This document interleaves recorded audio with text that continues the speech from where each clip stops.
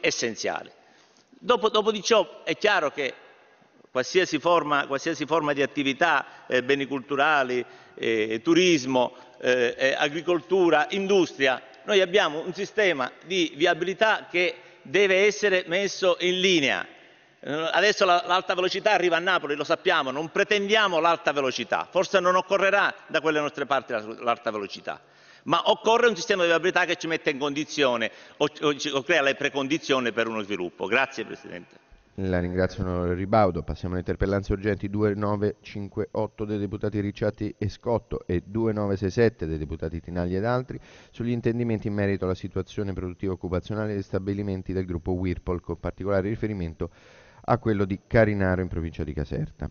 Avverto che le interpellanze urgenti vertendo sullo stesso argomento verranno svolte congiuntamente. L'onorevole Ricciatti può illustrarla, prego. Grazie signor Presidente. Quando il gruppo di Sinistra Ecologia e Libertà ha presentato questa interpellanza vi era già una lunga e triste lista di numeri che di fatto stava decretando la lenta agonia che presumibilmente rischia di portare alla morte degli stabilimenti Whirlpool in Italia. Oggi devo dire che quella lista era ancora incompleta perché è arrivato il piano industriale dell'azienda relativo alla parte impiegatizia ed è una nuova doccia fredda sia per i lavoratori che per i sindacati, perché la multinazionale statunitense, ora proprietaria della Indesit Company, prevede altri 480 esuberi, 200 a Varese, 200 a Fabriano, 80 a Melano, che si andrebbero ad aggiungere ai 150 dell'area ricerca e sviluppo e ai 1350 già annunciati in precedenza. Vediamo che dopo l'annuncio del piano di ristrutturazione del settore impiegatizio da parte di Whirlpool, che porta gli esuberi del gruppo a 2.060 totali, i sindacati unitari FIOM, FIM e WILM e le RSU degli stabilimenti Indesit hanno annunciato per oggi e per lunedì degli scioperi e dei presidi davanti agli stabilimenti per cercare di far sentire anche la loro voce. La ministra Guidi ha giustamente detto che questo è un piano che taglia di un terzo la forza lavoro del gruppo in Italia, sommando e mettendo insieme tutti gli stabilimenti.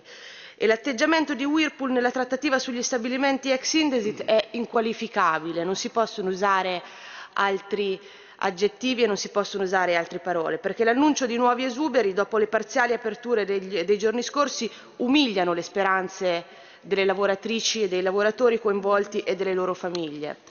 Per quello che riguarda noi di Sinistra Ecologia e Libertà però dobbiamo prendere atto che la strategia del governo sinora non è andata oltre l'espressione di un disappunto sul piano industriale di Whirlpool e per questo ci aspettiamo nelle prossime ore un deciso cambio di passo per esigere il rispetto di accordi già sottoscritti nel 2013 con la vecchia proprietà Indesit.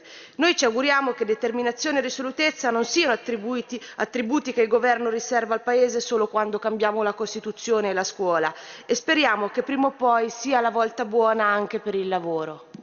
La ringrazio onorevole Ricciatti anche per la sintesi. Onorevole Tinaglia, facoltà di illustrarla. Prego. Grazie.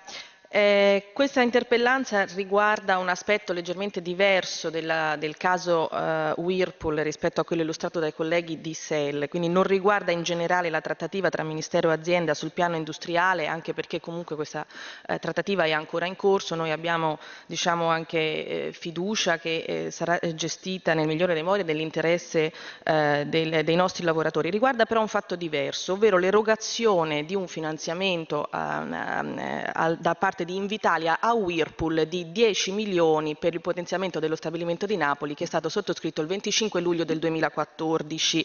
Eh, questi, eh, questo finanziamento è avvenuto nell'ambito eh, con, dei contratti di sviluppo che sono quei contratti volti a tutelare, eh, supportare lo sviluppo eh, di un'area, in particolare delle aree del sud, tutelarne l'occupazione e così via. Quell'accordo peraltro era volto, quei 10 milioni, a, a, ad una tutela di 588 118 posti di lavoro di questo stabilimento, eh, considerato che 540 già lavoravano lì, si suppone che la nuova occupazione creata con questi 10 milioni sarebbe stata più o meno di 48 posti di lavoro, solo che dopo pochi mesi eh, la, la Whirlpool ha annunciato oltre